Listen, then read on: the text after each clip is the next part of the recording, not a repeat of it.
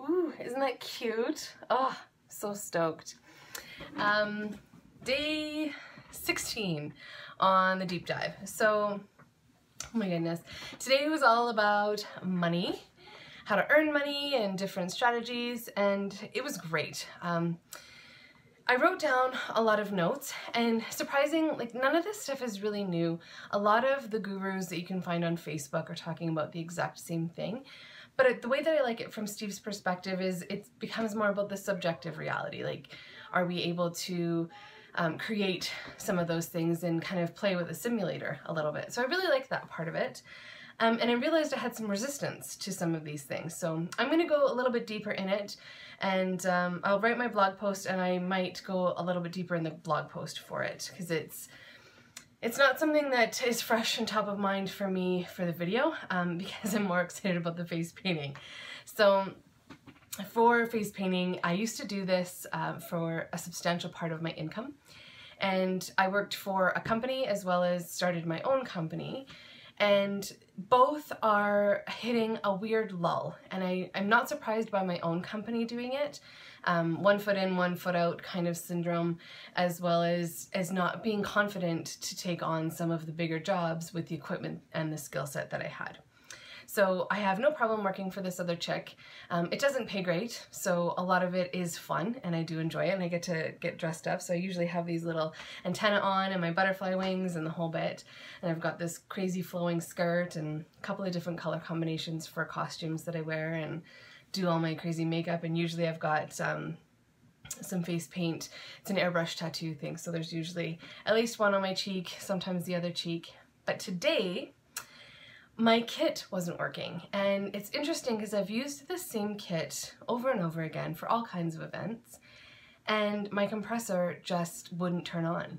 So I'm supposed to be painting at this event for three hours and it's not working at all.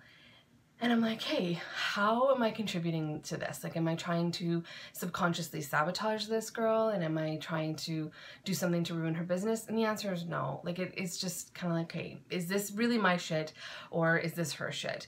And what it felt like was she has one foot in, one foot out for her business, and she's actually looking at alternatives to support herself. And it's almost like the compressor was like, you know what, then screw you, I'm not gonna work.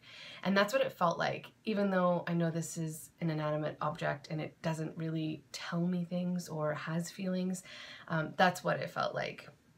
So I enjoyed the day. I stayed, of course, because I'm I agreed to do this and I'm there and it is what it is. So I'm managing the line and chatting with everybody and convincing people to get tattoos that they weren't necessarily going to get, which is the, the most fun. You know, there's, there's this big muscly guy who's like, you know, got his two little kids or three little kids and he's like, no, no, no, I don't really want a tattoo. I'm like, come on, maybe a dragon or maybe a butterfly. And, you know, his, his little girls convince him to get something kind of frou-frou and he goes for it. And it's just fun. So I love that part of it.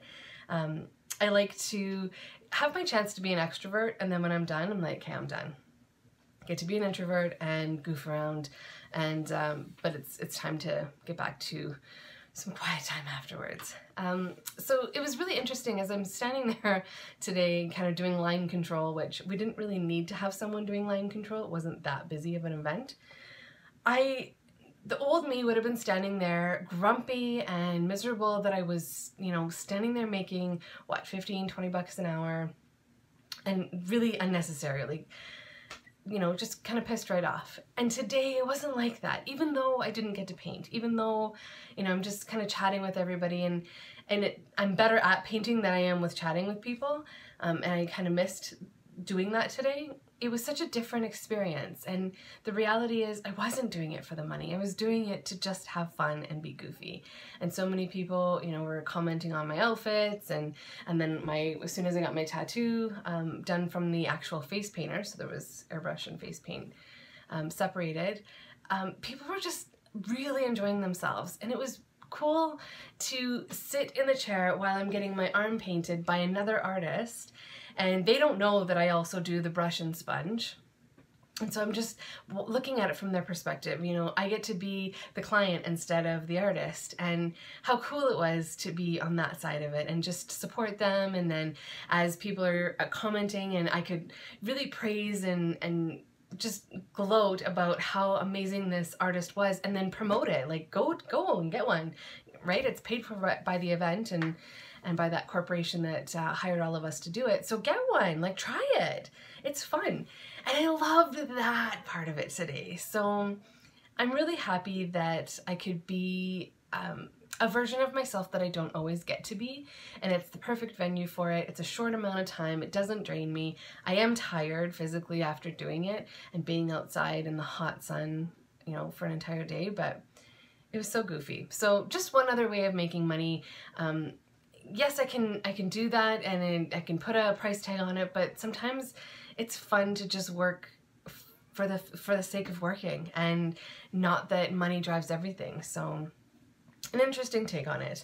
Um, I'm going to be doing a little bit of experimenting with my, um, my writing and the blog post, especially around this, in what is it that I want to do to make money and who can I serve best with the skill set that I have and who do I really want to work with and what does that look like? And coming up with a couple of different options and then just presenting it to the simulator. Like I want to work with the type of person that does this this and this that says this this and this and who has these kinds of values and then just kind of go from there.